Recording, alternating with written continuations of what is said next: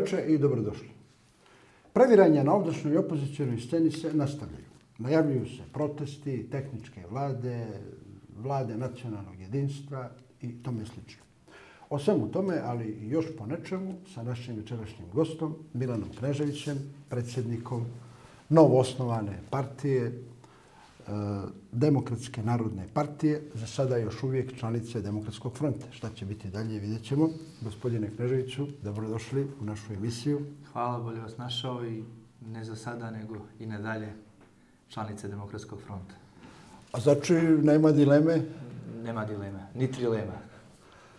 A razno razne tamo situacije, procene da će doći do neke... Kao što vidite, tim procenama se uglavnom bave ili režimski analitičari ili Demokratska partija socijalista i socijaldemokratska partija. Niko iz Demokratskog fronta od njenih konstituenata i od njenog predsjednika nije izgovorio ni jednu jedinu riječ koja bi išla u pravcu razbijanja Demokratskog fronta mirnog ili burnog razlaza i mislim da smo svi snažno posvećeni njegovom daljem snaženju i jačanju. Dobro, oko demokratskog fronta i, i tim odnosima unutra i kako se to funkcioniče ćemo tokom emisije, ali kad smo već ovo najavili predsjednik novo osnovane partije, dakle, moje čestitke za osnivanje partije i za predsjednika lično, dakle, naše gosta večerašnjeg.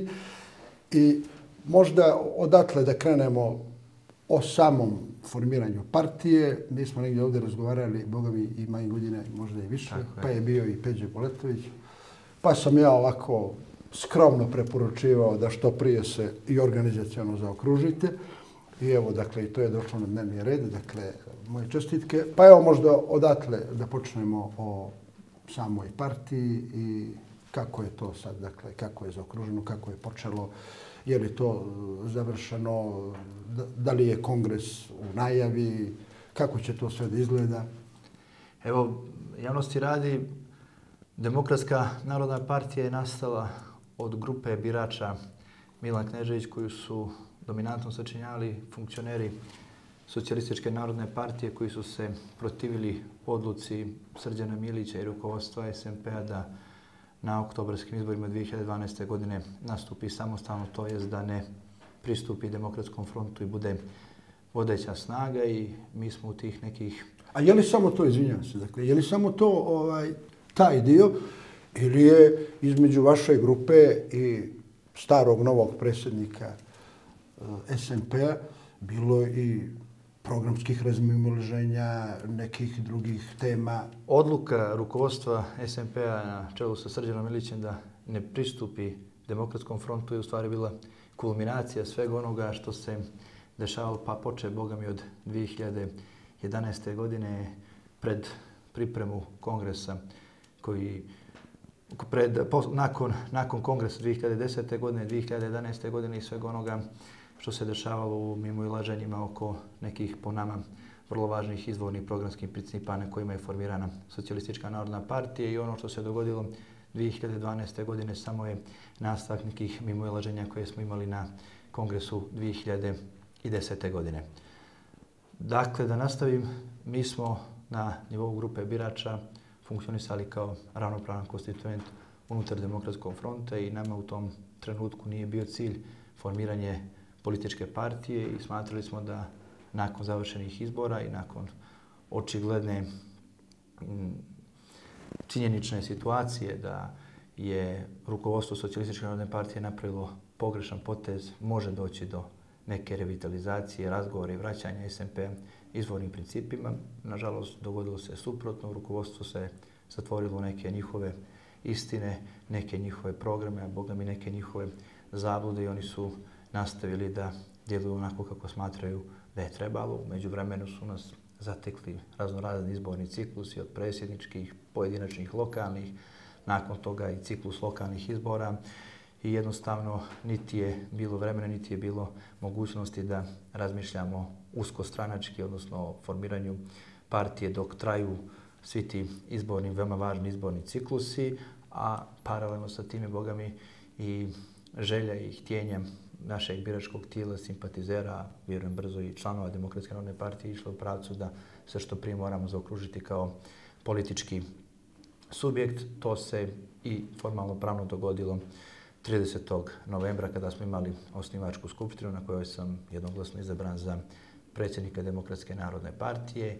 Svu moguću dokumentaciju smo priložili Ministarstvu unutrašnjih poslova i zvanično smo dobili iz registra Ministarstvo unutrašnjih posla potvrdu da smo upisani kao Demokratska narodna partija 27.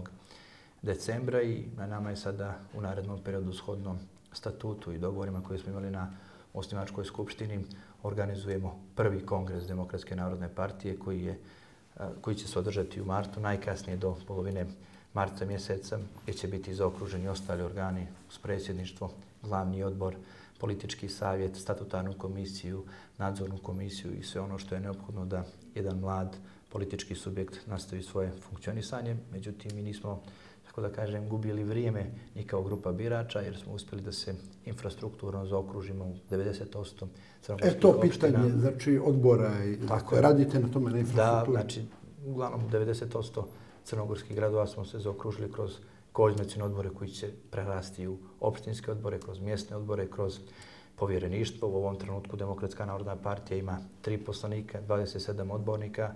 Među njima je i predsjednik Skupštine opštine Kolašin, Aleksandar Dožić, što također predstavlja jedan vid i političke i ljudske satisfakcije za sve ono što smo prošli od 2012. godine do današnjeg dana i kao jedan mlad, opozicijni, beskompromisni politički subjekt smatram da smo uspjeli dovoljno da uradimo ne samo mojom zaslugom, nego zaslugom svih onih ljudi koji su pristupili Demokratskoj narodnoj partiji, to je grupi birača. I meni je veoma važno ovdje da potenciram da a, Demokratsku narodnu partiju ne čine samo funkcioneri, članovi, simpatizeri nekadašnje socijalističke narodne partije, nego ima i veliki broj i funkcionera i članova i simpatizera partija bloka za zajedničku državu, a moje zadovoljstvo da kažem da je jedan veliki broj ljudi koji su nekada glasali nezavisno Crnogoru uvidjevši da se radilo o projektu za okruživanja privatne države gospodina Đukanovića i Kamarile oko njega su vidjeli da Demokratska narodna partija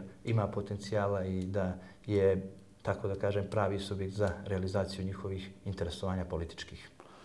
Dobro, znači, ozbiljno se radi na, na toj infrastrukturi, na odborima. Pa i Peđe Bolotović je poznato da je tu ovako dobar na, na terenu oko tih odbora, što se znači da nećete biti Facebook i Twitter partije, nego stvarno ćete imati infrastrukturu. Ja moram da dodatno potenciram ulogu i značaj e, Predraga Bulatovića za Demokratsku narodnu partiju, jer je svojim iskustvom, svojom nesebičnošću, savjetima i sugestijama značajno pomogao da se utemeljimo kao jedan, nadam se, ozbiljan politički subjekt. A što se tiče njegovog iskustva u radu na terenu sa infrastrukturom, sa glasačem u nekom neposrednom kontaktu, u svoje prema ostalim kolegama na političkoj sceni, što opozicijno, što pozitivno smatram da mu nema premca i svakog dana nešto novo naučim od njega i sa zadovoljstvom nemam nikakav problem da priznam da volim da učim od Predraga Bogatovića. Dobro, evo, dakle, dali smo taj uvod oko partije, da ostavimo to kongresu koji će znači biti, eto, možda za mjesec i pol dana da vi to tamo sve zaokružite, pa ćemo i tada... Samo jedna ispravka, ne može da biti, on mora da bude do, da. do 15. marta. Najkasnije, A do 15. Najkasnije do 15. marta, jer se to nalazi u našim a, statutarnim dokumentima i to je naša znači, obaveza. Ja kao legalista i kao čovjek kog izabrala osnivačka skupština više nisam. Politička grupacija Milna Kneža i da samostalno donosim odluke, da nisam ni do sada. Moja je obaveza da uradim sve da organizujem kongres zajedno sa ljudima koji su činili osnivačku skupštinu do 15. marta najkasnije. Dobro, to ćemo staviti, pa ćemo posle toga, kad se to sve... Ja ću kad se završi kongres ponovo gostovati kod vas, da rezimiramo iskustvo sa kongresa. Sa zadovoljstvo ćemo vas pozvati i, ja sa zadovoljstvo i ugostiti. Hvala. Dobro.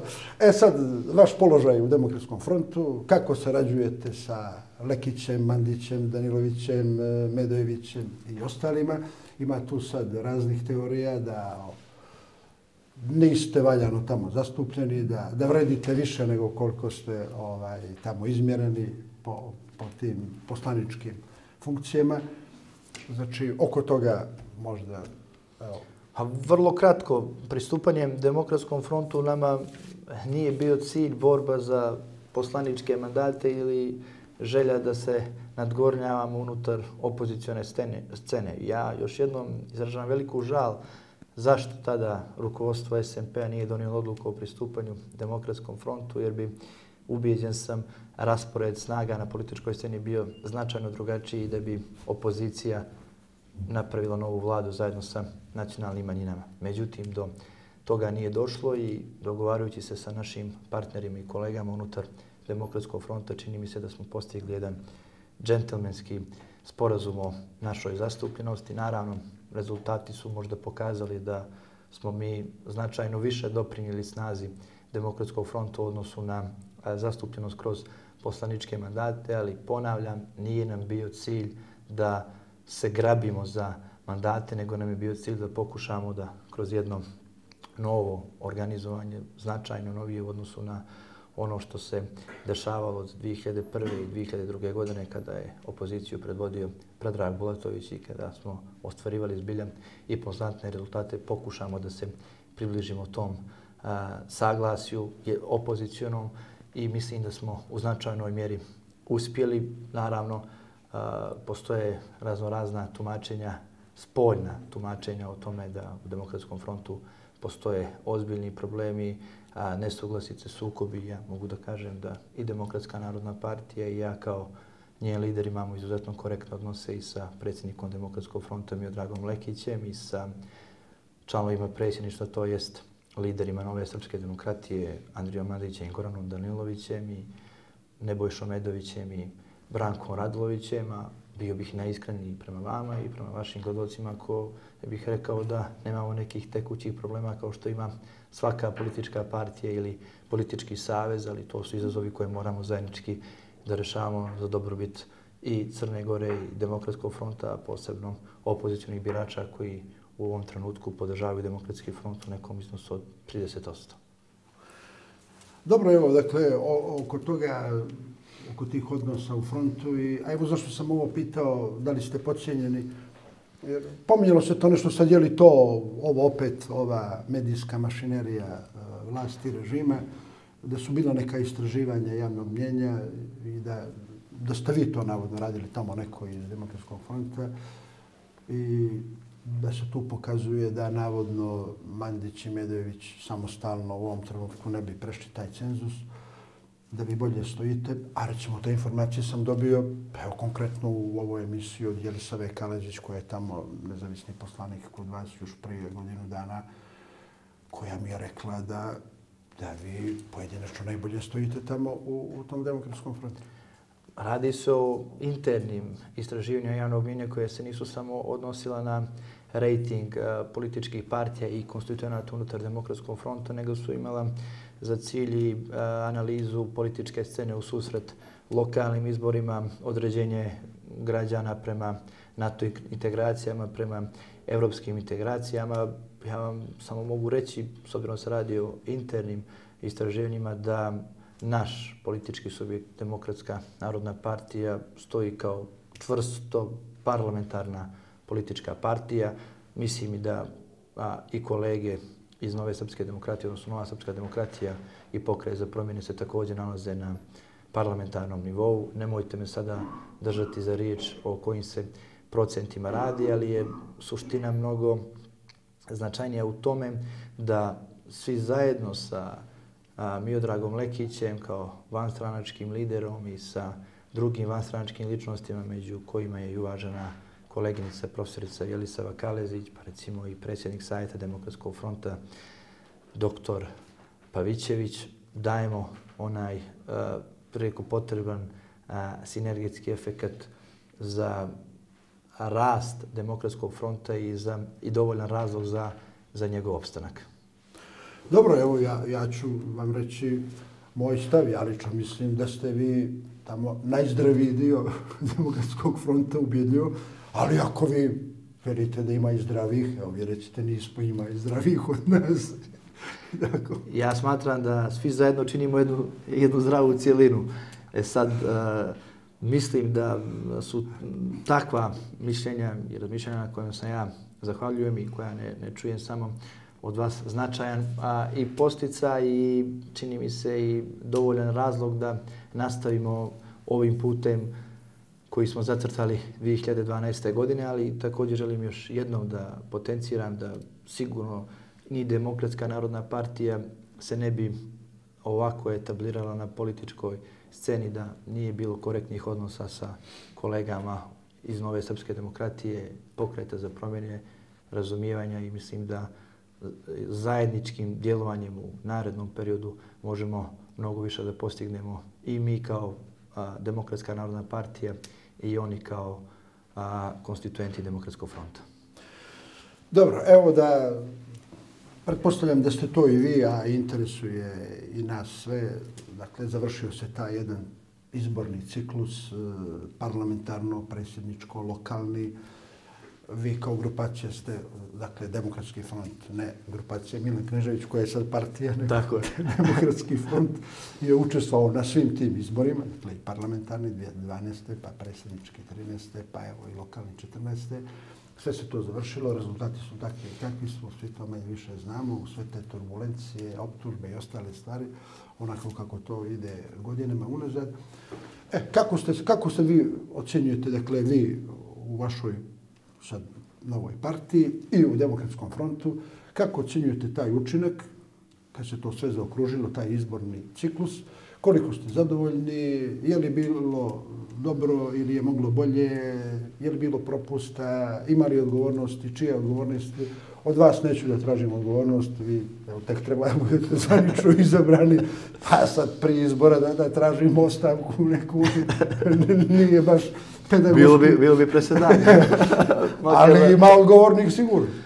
Prvo, ja ne bježem ni od sobstvene odgovornosti jer sam član predsjedništva Demokratskog fronta i aktivno sam učestvovao u donošenju svih odluka. To sam saopštio i na organima Demokratske narodne partije, nevezano samo za lokalne izbore, nego i za predsjedničke, a boga mi i za parlamentarne. Uvijek može bolje i bilo bi sad, e, pravo da vam kažem, malo i pretencijozno, ako bismo govorili samo o dobrim stranama a, svih tih izbornih ciklusa i ponašali bismo se dosta neozbiljno ukoliko ne bismo uočili neke nedostatke koji su se pojavljali u kampanjama. Vrlo kratak presjek, smatram da je 2012. godina i formiranje Demokratskog, save, Demokratskog fronta a, bila prelomna što se tiče nekih daljih opozicijnih procesa i, i određenja.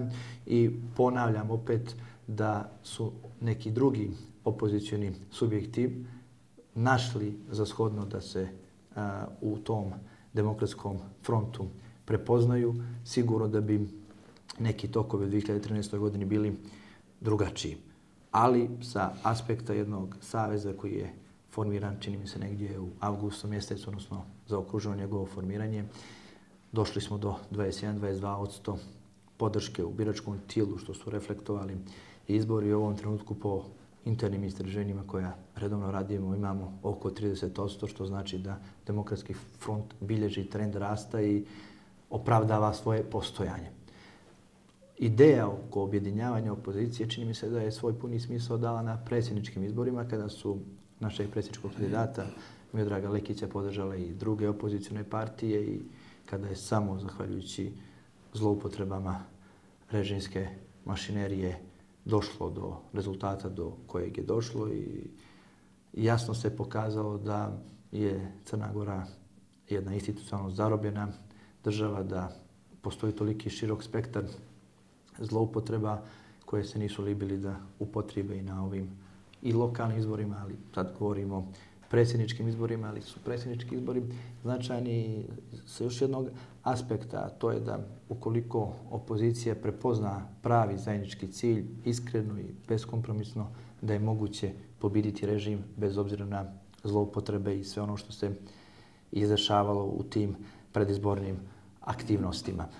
Što se tiče lokalnih izbora, tu želim da budem mnogo kritičnijim, jer mislim da smo malo i zakasnili sa kampanjom, zakasnili sa kampanjom ne samo u Podgorici, nego i ostalim crnogorskim gradovima. Postojali su problemi unutar konstituenata koji su bili evidentni i koje nismo mogli sanirati na, u određenom, u, u, u, u doglednom vremenu koji je bio neophodan za realizaciju svih tih aktivnosti i mislim da je ta analiza koju smo radili neumoljiva, to je da se za izbore moramo pripremati svakodnevno i da nije dovoljno mjesec ili dva dana prije održavanja izbora krenuti u jednu aktivnu kampanju, nego je neophodno na godišnjem nivou imati živu komunikaciju ne samo sa organima partije po opštinskim, po, po opštinskim a, organizacijama, nego je neophodno imati živu komunikaciju sa članstvom, mogućim simpatizerima, biračima i osmisliti pravu strategiju. Mislim da smo mogli da ostvarimo bolji rezultat u Podgorici nego što je to bilo, ali ipak osvojili smo 30.000 glasova, što nije zanemarljivo. Ubedljivo smo najjača opozicijona grupacija, ali nama nije bio cilj da budemo najjača opozicijona grupacija u Podgorici, nego nam je bio cilj da budemo grupacija koja će najzad donijeti promjene građanima Podgorice i malo je nedostajalo. Nažalost, socijaldemokratska partija, odnosno Evropsko lice Podgorice, u stvari pokazalo svoje pravo lice. Sve vrijeme kampanje su nastupali sa jasnih opozicijonih stanovišta, da bi na kraju, kada je došlo do a, definitivnog odlučivanja, odlučili, odnosno SDP odlučilo da se vrati u zagrljaj staroj i nezaboravnoj ljubavi DPS-u i mislim da tu i nije potreban neki veliki komentar, osim da a, svi budući procesi i aktivnosti koje bude organizovala opozicija prevashodno demokratski front moraju biti oprezno planirani sa oprezno odobranim mogućim partnerima da nam se ne bi desilo ono što se dogodilo u Podgorici ili godinu dana ranije u a, Nikšiću, odnosno dvije godine dana u Nikšiću. Dobro, ali nije to nikako iznenađenje. Iako je opozicija cijelo vrijeme prisvajala Ranka Krivokapića da je dio opozicije, što je ipak meni malo bilo čudno. Ako, evo, pomenuli ste sami to izborno, ovo, lice Podgorice, kako se... Kako Evropsko lice Podgorice. Evropsko lice Podgorice. Tamo je, recimo, nosilac liste ispred DPS-a, bio prvi pendrak Montenegra, dakle, ministar policije Raško Konjević. E sad, kako može biti Raško opozicija ako je, ako je prvi pendrak Montenegra, a šef mu je uh, ujedno i šef parlamenta? Dakle, ne mislite da je tu bilo malo naivnosti i ulaganje, tako da kažem, polaganje svih nada u, u SDP i Ranke Krivokapića? Ukoliko ste pažljivo pratili medijske nastupe nakon a, završetka lokalnih izbora u Podgorici, vjerojatno ste primijetili da se makar Demokratska narodna partija držala po strani i nije slala neke euforične izjave vezano za očekivanja socijaldemokratske partije. Međutim, teško da neko može, a da ne ukalkuliše sve ono što je Ranko Krivokapić izjavljivao protiv demokratske partije socijalista, konkretno protiv Vujanovića, čini mi se čak i Đukanovića, optužujući ih za najstrašnije ekonomske pohare, za veze sa mafijom, sa tajkunima, da su najzaslužniji za devastaciju Crne Gore i urušavanje tog društvenog sistema. I očekivati je bilo da nakon tih izbora Ranko Krivokapić ostane jedan dosljedan socijaldemokrat i opozicionar da napravi otklon Mislim da je to bila prava prilika za njega. On to nije uradio, nažalost, građana Podgorice, a Boga mi mislim da će to biti a, na mnogo veću njegovu žalost, jer je tim činom se potpuno, a, potpuno abolirao sve ono što je radio zajedno sa Đukanovićem svih ovih godina i ja više nisam zastupnik teze da je Milo Đukanović porok koalicije u DPS-u, u koalicije DPS-a i SDP-a, da je Ranko Kriokapić njegova savjest. Znači, zajedno su odgovorni za devastaciju Crne Gore u ovih već 97. 98. godina, znači to je već 17. 17-18 godina i možda nije ista možda nije ista odgovornost, ali odgovornost postoji i od strane Ranka Kriokapića, samo jedan potpuno možda minoran detalj, ali koji dovoljno govori o porukama koje je Demokratska partija socijalista poslala Ranku Kljokapiću je i činjenica da on nije reizabran na mjesto predsjednika Skupštine OEPS-a i on je jedini predsjednik Skupštine OEPS-a koji nije ponovo reizabran i jasno je bilo da je Demokratska partija socijalista učinila sve preko svojih veza da pošalje poruku Ranku Krivokapiću da je mnogo uzletio i da ga čeka bolno prizemljenje.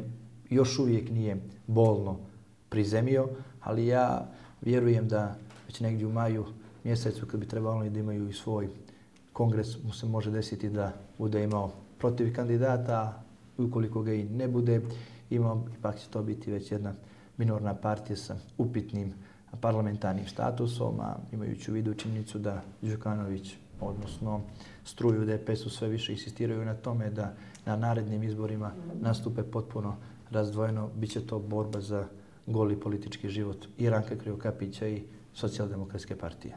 Dobro, ali ako se vratimo malo unazad, Ranko Krivokapić je tako izabran, ne znam, prvi put, ne znam da li se sećate Naravno. kako je to bilo, da je izabran uz pomoć udbe i u, što se nije samo on izuzetak, ima tu još neki ko, koji biraju uz pomoć udbe, ali tada je, recimo, neki drugi kandidat slovio za sigurnog predsjednika Tako je. socijaldemokratske... Slovio je kandidat blizak nekadašnjem predsjedniku SDP-a Žarku Rakčeviću, gospodin Simonović, koji je sada predsjednik Crnogorskog olimpijskog Pa se u roku od 24 sata se promijenilo, tako da može i ovo da bude na tom kongresu da se opet sve promijeni u roku to će, 24 sata. Po mom mišljenju, to će zavisiti ne od ljudi koji su SDP-u svoje uvažanje, nego će zavisiti od procjena koje bude imao Milo Đukanović. Da li mu je potreban ovakav Ranko Krivokapić na čelu SDP-a ili će isturiti nekog novog kandidata koji će pobediti Ranka Kriokapića i sama činjenica da je Ranko Kriokapić na prećeništu sobstvene stranke, vidjevši da ostaje u manjini glasao protiv sobstvenog predloga da se ide sa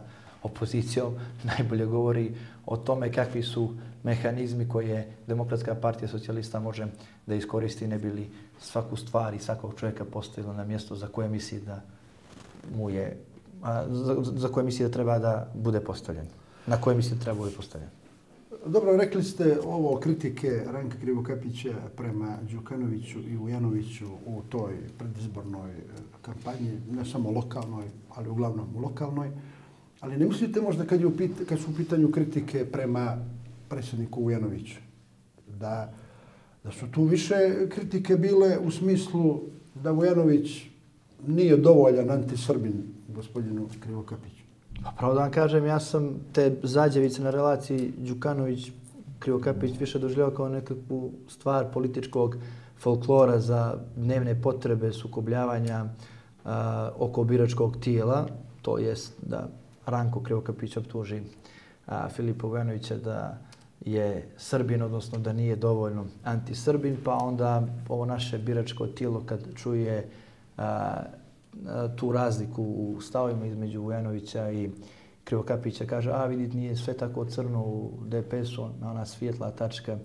A, Filip Vujanović koji čini mi se da naginje ka srpstvu, ako ništa drugo, rođeni u Beograd. Mislim, to je banalizacija sukoba na relaciji između, Đukano, između Krivokapića i Vujanovića. U stvari, mislim da se radi o vještačkim sukobima. Evo, reći ću vam i zašto. Znači, ako je Ranko Krivokapić bio na stanovištu da su pokradeni predsjednički izbori, da Filip Vojanović nije imao pravo da se kandiduje po treći put, onda su i oni, poslanici SDP-a, trebali da glasaju za lex specialis i da i definitivno označe svoje mišljenje o Filipu Vojanoviću, koji tada ne bi mogao biti i proglašen za predsjednika države, jer bi bio usvojen lex specialis.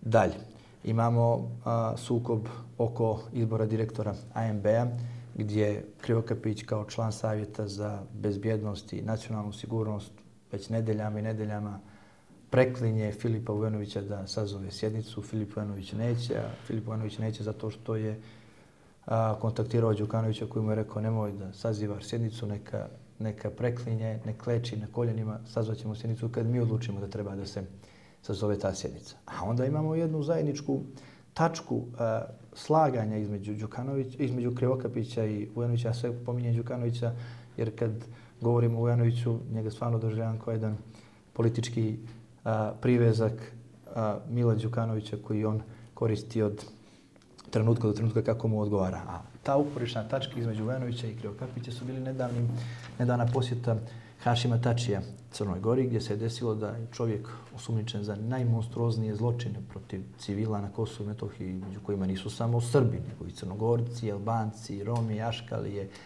i Egipćani, uspio da u jednom danu, u tri sata, postroji predsjednika vlade, predsjednika Skupštine, ministra vanjskih poslova i takozvanog predsjednika Crne Gore.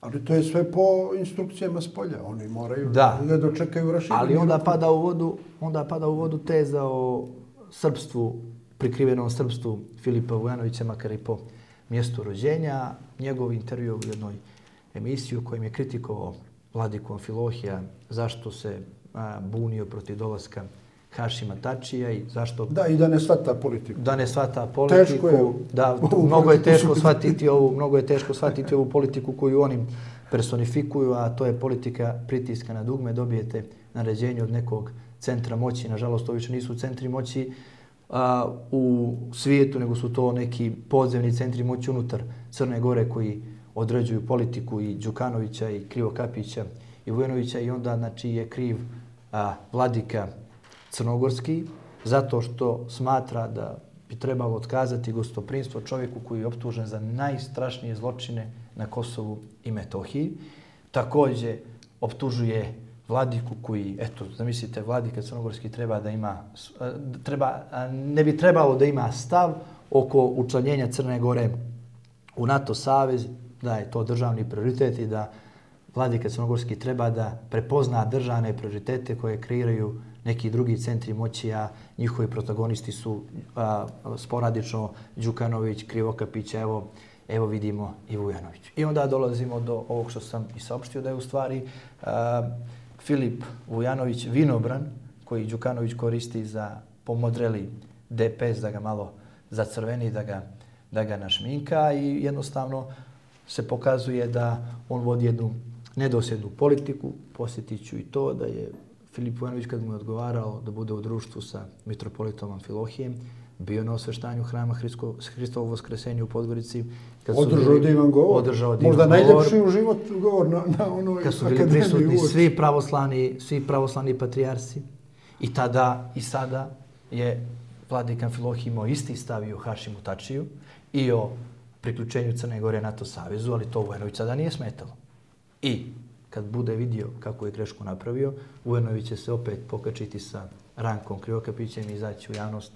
Umalo se ponovo nismo potukli, ovoga puta sam jedva otrpio, sljedeći put neće biti tako jer sve ima svoju granicu trpljenja, sve ima svoju granicu poniženja. Na taj način Filip Vujanović šalje poruku Crnogorskoj kako je dobar Filip Vujanović, romantični vitez koji štiti druge od sebe i koji neće do krajnjih granica da se sukobi sa bilo kim za dobrobit Crne Gore, a u stvari oni su toliko uništili Crnu Goru, obezbjedivši svoju pravnuču, pravnučad, da sad imaju dovoljno političkog i ljudskog obraza, da nam objašnjavaju šta su njihovi prioriteti, a to je ratovanje naših vojnika od Afganistana do Iraka i na raznoraznim svetskim žarištima gdje je potrebno da budemo jedno topovsko meso u zamjenu za neke geopolitičke projekte u kojima blage veze nemamo i koji se nas, i koji se nas ne tiču. Dobro, ali kad smo kod tih banalnosti gdje je ko rođen, ako ste rođeni u Beogradu, da ste ne znam šta Srbin ili, ili Beogradjanin, pa po toj logici bi bilo ako ste ne znam rođeni u avionu, onda ste pilot ili stewardesa, a ako ste ne daj Bože rođeni u štali, on, verovatno ste tele ili nešto slično, ali to ima utjecaja kod, kod građana. Ako ste rođeni u štali, možda budete Isus Hrist. U pećini. Tako je, improvizovana pećina štala. Tako je. O, a, znači, ja, ja sam samo banalizujući ovo htio da pokažem na kakav način služba bezbjednosti u koordinaciji sa aktivistima DPS-a stvara privid među opozicijnim biračkim tijelom. Vujanović je rođen u Beogradu, ne može on biti Srbi, nego tako, ne može ništa drugo on biti bez Srbi, nego takva je, takva je trenutna situacija. Recimo, druge stvari, ako se Đukanović pojavi na košarkaškoj utakmici u Beogradu, ono kažu, evo ga, Đukanović je veliki zvezdaš, vidite, bio je, bio je u Beogradu i takvi neki banalni, banalni primjeri pokušavaju da zamijene jednu visoku i odgovornu politiku koju bi trebalo koju bi trebalo svi da vodimo. Evo recimo i ovaj e, slučaj u Herceg Novom, vjerujem da ćemo i, to dotaći, i toga se dotaći gdje ovaj gospodin Krušo kaže da je on da je on Srbin i da bi to valjda trebalo da bude a, opravdanje zašto je ušao u koaliciju sa DPS-om.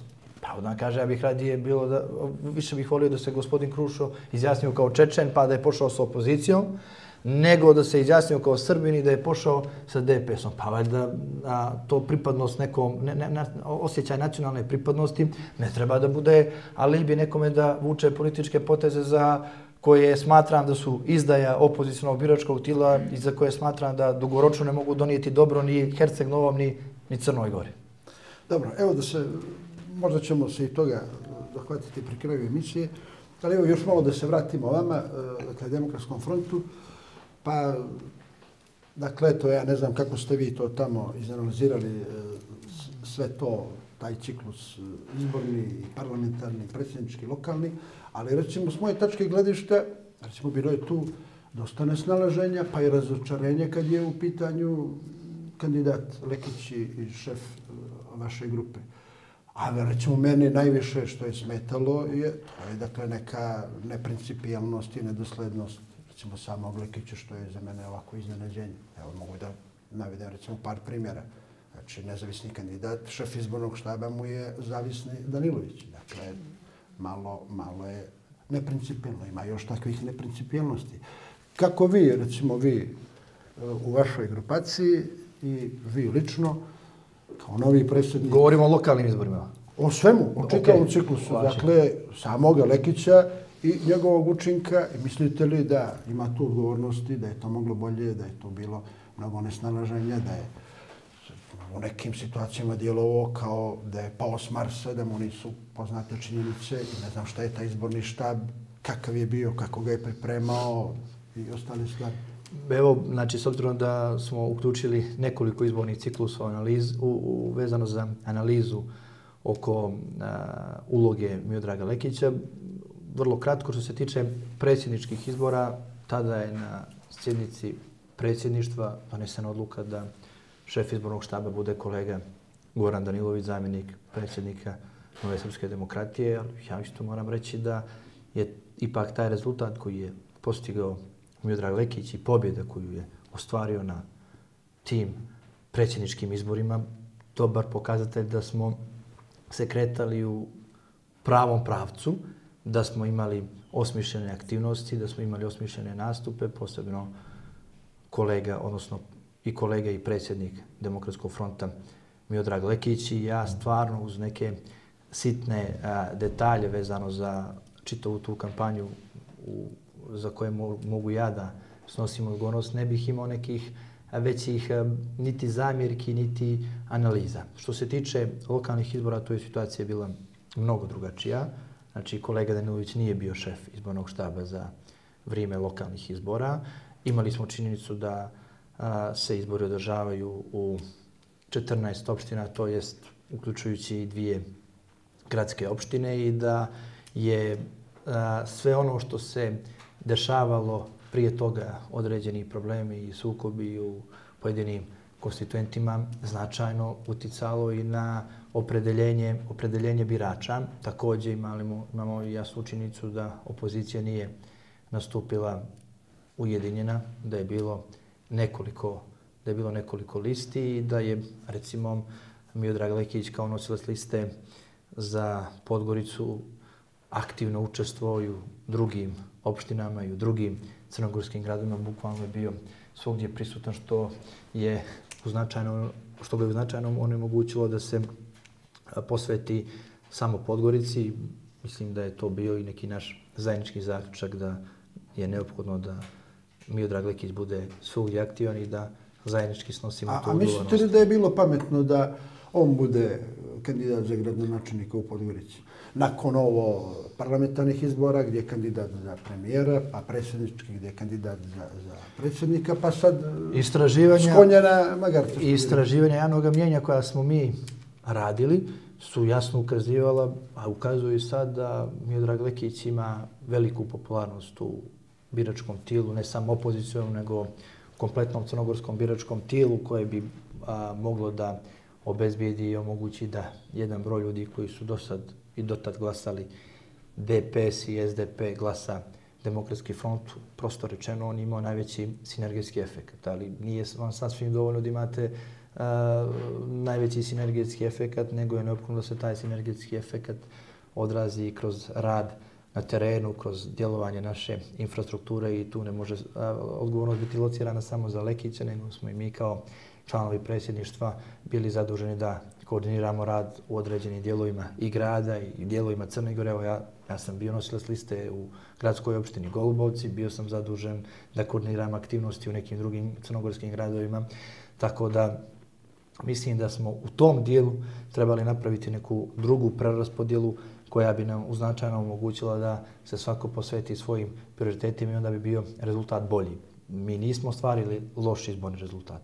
Mi smo stvarili 30.000 glasova, što je na nekom nivou sa parlamentarnih izbora imajući u vidu uvećanjem biračkog tijela. Ali naš cilj je kao najjačeg savjeza bio da ostvarimo što veći broj glasova, da ne bismo možda zavisili od socijaldemokratske partije kao što je to bio a, slučaj koji je završen u avgustu mjesecu definitivno odlukom SDP p-a da uđe u koaliciju sa DPS-om.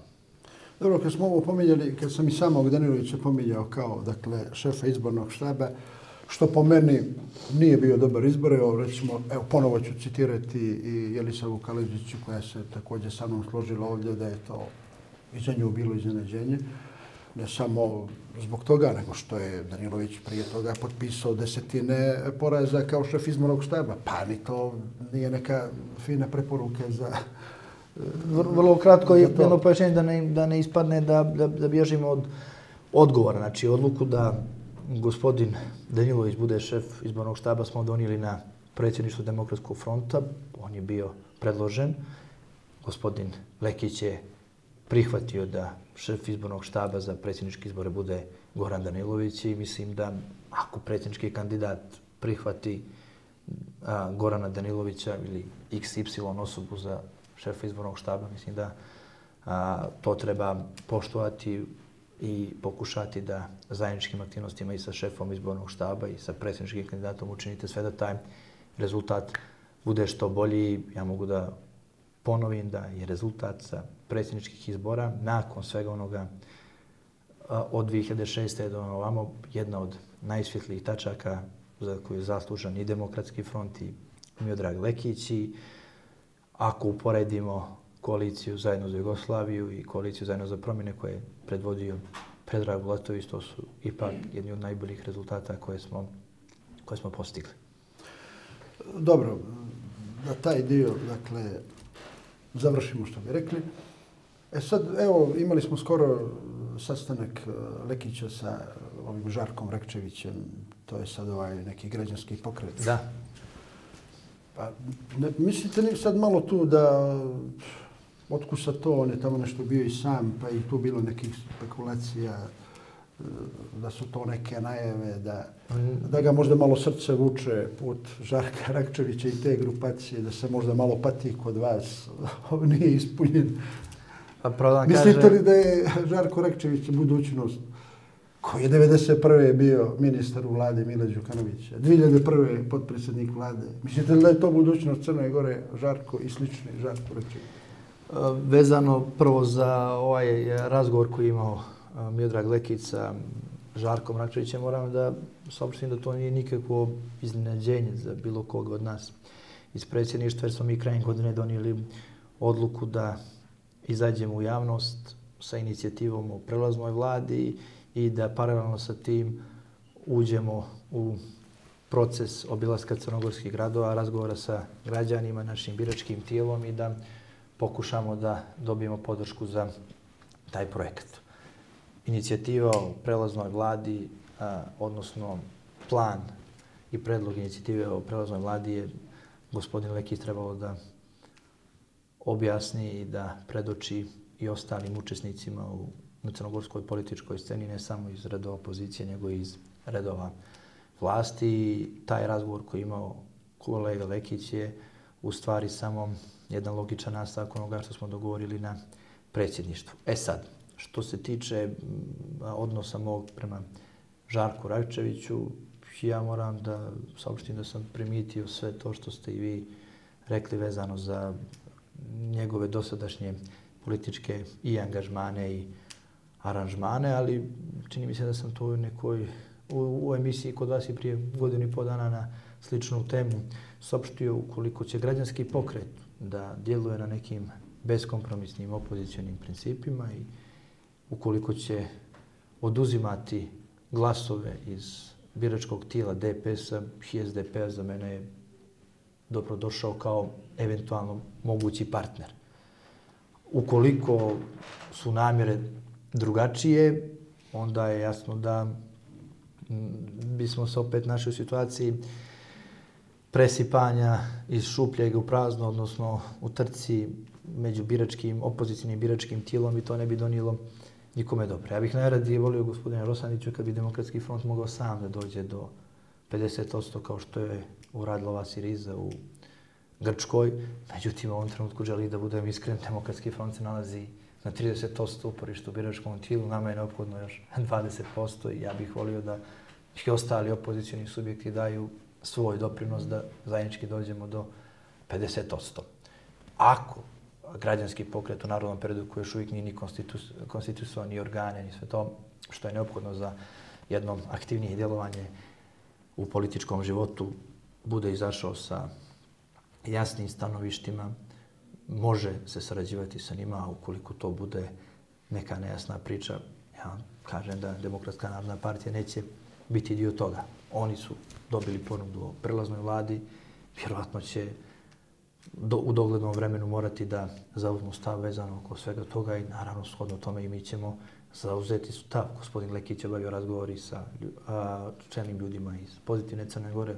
Vrlo brzo će biti razgovori sa ljudima iz socijalističke narodne partije, ali ono što je meni najvažnije kao članu predsjedništva i na čemu sam insistirao na toj sjednici, jeste da je od svega, var, od svega ključno obilazak crnogorskih gradova i razgovor sa građanima Crne Gore. Da se pogledamo u oči i da nam građani Crne Gore sa, saopšte kakva su njihova razmišljanja o ovim našim inicijativama. Možda mi griješimo, ili smo možda u pravu, ili smo možda zakasnili, ili možda smo uranili, ali narodno gledalo je najbolji sud i a, e, možda se meni čini da ja mnogo ljepše izgledam u narodnom gledalu zatvorenu nekim a, salonskim raspravama, kabinetima i teoretisanjima, ali kada se suočite na licu mjesta sa ljudima iz mjesnih odbora, sa ljudima koji imaju ozbiljne životne probleme, ali velika očekivanja od nas kao ljudi kojima su dali glas, onda imate jasnu situaciju i na osnovu toga učete poteze.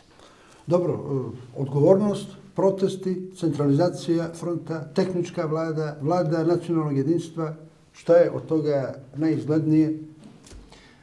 Mi smo izašli sa projektom prelazne vlade. Prelazne vlade koja bi trebala da u doglednom vremenu pripremi... Tehnička. Prelazna vlada, da, tehnička prelazna vlada. Znači nije nacionalnog jedinstva. Znači, ali a, dozvolite vidjeti da, da, je, da je ovih dana bilo da ovih bi, teorijske dana rasprave, teorijske rasprave je, ili prelazna vlada ili vlada nacionalnog jedinstva. Moram a, primijetiti da a, pokušavaju a, napraviti razliku između ta dva pojma, ali smo mi na predsjedništvu i prelaznu vladu i vladu nacionalnog jedinstva, smo mi zvali vladom nacionalnog spasa, a, identifikovali kao jedan isti termin, ali je suština u sljedećem. Što, je, vla, što, je, što su naše očekivanja? Naše očekivanja nisu da mi, a, ukoliko dođe do formiranja te prelazne vlade ili vlade nacionalnog spasa, sad krenemo da zajednički vladamo do, do novih izbora koji su a, redovnih, koji su za neki godinu, godinu, godinu i po dana nego je suština da u dogledno kratkom vremenu obezbedimo uslove za održanje prije vremenih fair i demokratskih izvora oko kojih ćemo svi postići saglasnosti na kojima a, na, na, koji kad se budu završili neće biti pod a, lupom a, niti opozicije niti vlasti da li su održani u regularnim uslovima neće biti međusobnih optuživanja i oni koji budu pobedili nek nastave da ili neka otpočnu sa a, realizaciju svoje, svoje ekonomske, političke i društvene agende. Znači, suština je u tome, a ne da, recimo, mi sad napravimo neku prelaznu ili vladu nacionalnog jedinstva u kojoj bi se našli svi kooptirani po ministar 2, ministar 2 i da pravimo neku simulaciju do 2016. godine. To naravno nikako nije naš cilj, nego je naš cilj, rekao sam, da se u što kraćem vremenu obezbedi uslovi za fer i demokratske izbore. Dobro, evo, već... O, I izvinite, odgovornost, znači, svi snosimo odgovornost. I mi kao predlagači ideje o prelaznoj vladi i oni koji je budu prihvatili ili oni koji neće prihvatiti, Isto kao što ćemo podnijeti odgovornosti ukoliko ne dođe do realizacije te prelazne vlade, nego se budemo morali opredeljivati za neke druge aktivnosti kao što su i protesti. Ja sam saopštio ukoliko građani Crne Gore u tom obilasku koji planiramo po Crnoj Gori budu smatrali da ako propadne ideja o prelaznoj vladi zbog bahatosti DPS-a i SDP-a, protesti ostaju jedino rešenje. Tu činjenicu niko ne može da ignoriše, ni mi kao funkcioneri demokratskog fronta, a boga mi ni aktuelni režim. Evo nas u finišu emisije, pa još samo dvije teme, ali malo... Moram da primitim da vrijeme sama brzo leti. Nažalost, nažalost, evo, signalizira nam kamerman desetak minuta. Dakle, Herceg Novi, šta se desilo u Herceg Novom? Te epilog ovakav. U Herceg Novom se desila klasična politička prevara gdje je grupa građana izbor pod plaštom renesanse Herceg Novog, a boga mi i potenciranja nacionalne pripadnosti prevarila biračko tijelo koje je s pravom bilo nezadovoljno radom dosadašnje lokalne samuprave i napravila koaliciju sa Demokratskom partijom socijalista. Ta prevara je još dramatičnija ako se ima u vidu da je upravo ta grupa građana izbor sve vrijeme a, predizbornih aktivnosti govorilo o DPS-u kao jednoj tajkunsko-mafijaškoj organizaciji koja je uništila Crnu Goru, a uništit će i Herceg Novi. I sad se nalazimo u jednoj paradoksalnoj situaciji da grupa građana izbor pravi koaliciju sa partijom koja je uništila čitavu Crnu Goru, nadajući se da neće uništiti Herceg Novi. Ipak je to jedna politička i groteska i prevara koju su, nažalost, sa zakašnjenjem uvidjeli građani Herceg Novog i mislim da se radi o jednom pilot projektu DPS-a koji će pokušati da realizuju u drugim opštinama gdje će se pojaviti određene grupe građana koji će govoriti da opozicija ne valja ništa, mi da pokušamo sa DPS-oma, DPS na vlasti 25 godina i na kraju opozicije ne valja ništa. Dobro, ali ovaj izbori i Krušo Radović, oni su optuživali, duše to ste i vi primijetili, onako na ulaž, dakle da je ta vlast dosadašnja lokalna, prije svega SMP i Nova, ovaj, vaš, va, vaši prijatelji iz Demokratskog fronta, da su oni do sad uništavali Hercegovini. Ali oni su, oni su upravo dobili priliku, bili dobili priliku, odnosno ponudu od predstavnika političkog života u Herceg-Novom opoziciji, odnosno iz naše koalicije, za manjinsku podršku da im obezbijedimo manjinsku podršku i da oni pokažu sve što znaju. A 100 miliona evrića? To im niste mogli Vjerovatno da smo, mogli smo im i mi obezbijediti na papiru kao što im obezbijedio gospodin Svetozar Marović. A oni će vidjeti tih 100 miliona evra taman kao što ću ih vidjeti i ja. Znači, 100 miliona evra je jedna uh, šarena laža i, i, i, i priča za uh, lakše pristupanje tom jednom po meni politički nečasnom aranžmanu. Pravo da kažem, ja kao predsjednik partije koja u Herceg Novom ima samo a, mjestni odbor i povjereništvo, još uvijek nismo formirali kor, koordinacijni odbor, možda trebao da budem najmanje zainteresovan za sve što se dešavalo tamo, niti sam na bilo koji način učestvovao u, u lokalnoj samupravi, niti sam posle toga učestvovao u pregovorima kao što je to radio Srđan Milić, ali ne mogu da otrpim kad prepoznam političku prevaru, kad prepoznam ljude koji su zaklanjujući se iza srpstva, ordena svetoga Save, busanja u prsa, uradili to što su uradili, pošli sa DPS-om i to u jeku posjete Hašima Tačija, u jeku posjete Hašima Tačija Crnoj Gori i imajući u vidu sve umeđu vremenu što se izdešavalo i kako je to uokvireno u neke oblande, ja moram da kažem da se radi o prevari i da ću se žestoko boriti protiv sličnih prevara po Crnoj Gori, a što se tiče izbora od Demokratske narodne partije u narodnom periodu će očekivati velike, velike kritike. Ali ja sam imao prilike da se upoznam sa ovim e, Krušom Radovićem i lično mislim, ne izgleda baš naivno. Ja ne mislim da će baš DPS lako izaći na kraj sa njim. Pa DPS je za sad lako izašao na kraj sa njim. Sudeći po koalicijonom aranžmanu koji su napravili sudeći po tome da gospodin Krušović duže vremena ima jednu lokalnu televiziju. Danas smo vidjeli da ima i neke, neki lanac restorana od Moskve do Rima i nekih drugih gradova. I meni je samo žao što gospodin Krušo, kad imao takve mogućnosti, svoju političku energiju nije recimo iskoristio u Rimu i Moskvi, pa da imamo našeg čovjeka za gradonačelnika Moskve ili gradonačelnika Rima, nego je odlučio da učestvuje u sklapanju aranžmana, a da se opet on ne pojavi, nego je tamo, čini mi se, na nekom rotacionom periodu izabran gospodin Gojković. To je veoma interesantno. Gospodin Gojković je shvatio se izabran samo na dvije godine. A posle toga da, rotirajući. Da, a posle toga će... Eh, posle toga će... Gradonačelnik i predsjednik tako je. parlamenta. A posle toga će da dođe, posle toga će dođe kandidat iz DPS. I onda će imati kandidata iz DPS-a. Ali ne... možda to neće trajati duže od dvije godine. Možda neće biti ovih 100 miliona i oni će raskinuti koaliciju.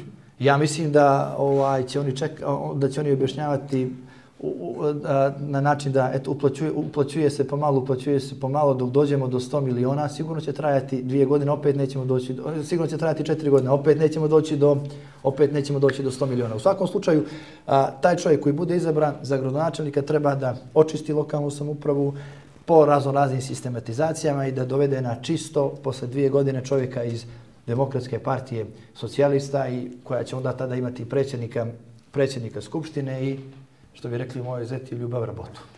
Evo, sami kraj, e, vaši bivši drugovi, SMP, Kongres, Milić je uspio sam sebe ponovo da izabere po treći put za predsjednika.